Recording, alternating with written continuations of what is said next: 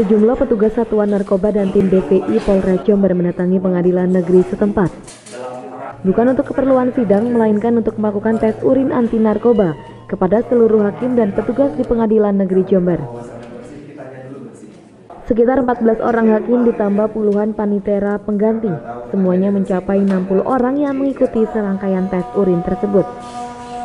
Dipimpin langsung Ketua Pengadilan dan Kapolres Jember, tes urin ini digelar sebagai tindakan preventif agar perangkat peradilan tak terjebak pada narkoba. masing-masing sudah? Ya.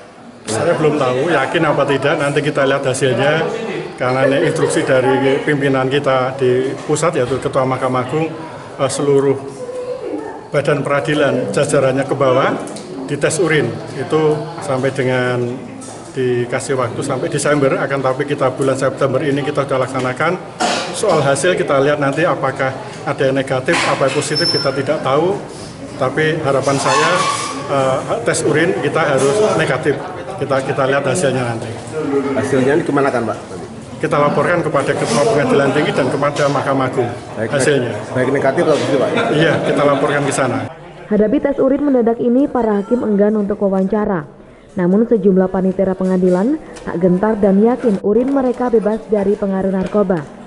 Dalam tes urin khusus pengadilan ini terdapat 65 orang yang terdiri atas hakim, panitera, dan unsur honorer lainnya. Jika terbukti ada pengaruh narkoba akan ditindak pidana dan sanksi kode etik.